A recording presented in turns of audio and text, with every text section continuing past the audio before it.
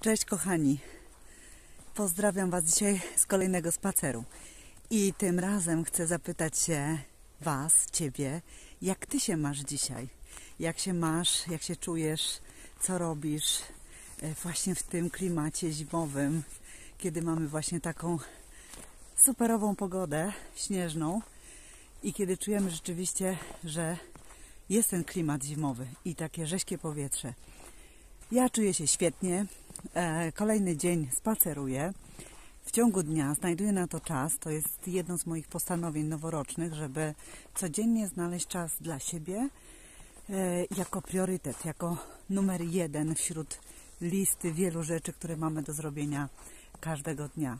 Kochani, trzymajmy się swoich postanowień noworocznych.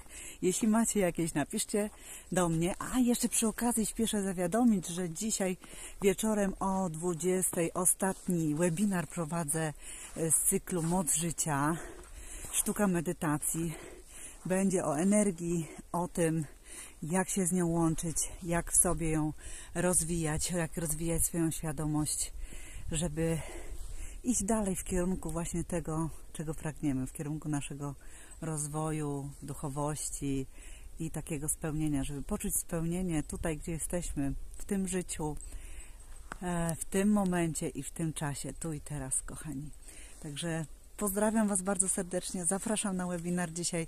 Możecie napisać wiadomości, odeślę Wam link do zapisu lub u mnie na stronie znajdziecie tam link w poście też do zapisania się na ten webinar, kochani. Dostaniecie zwrotnie maila z potwierdzeniem. Jeszcze raz buziaki, serdeczne wszystkiego dobrego i pozdrawiam Was. Do zobaczenia, kochani.